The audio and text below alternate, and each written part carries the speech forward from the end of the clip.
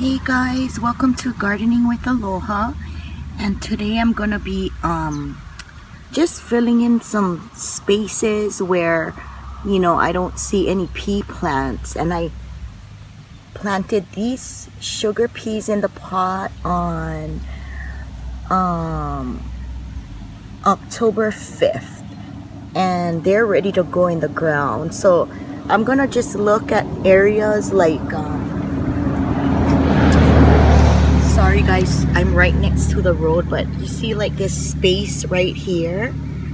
This is a weed but I'm gonna be you know just putting the pea plants in certain spots where you can call it bald spots. But look at this I'm um it's actually producing peas here so guys I'm gonna um, get to planting and I'll be right back hey guys I'm back I just finished planting um, some new pea plants. I um, you can tell which ones are new. It's like those three, and there's a couple more down there at the end. But yeah, it's producing nicely.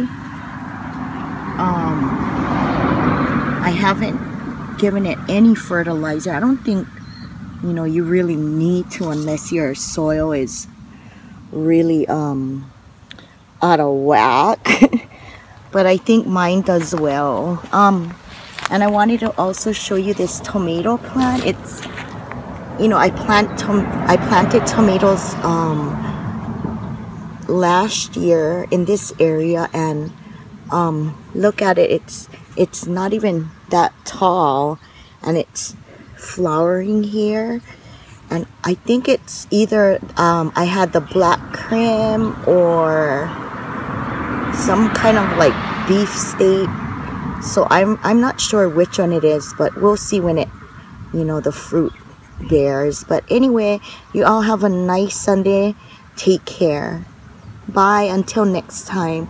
Aloha